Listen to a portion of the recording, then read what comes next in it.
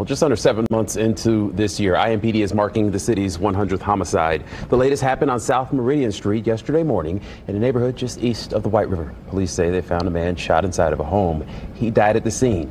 Tonight, IMPD says the city is on a pace similar to 2023 when the city had 216 homicides.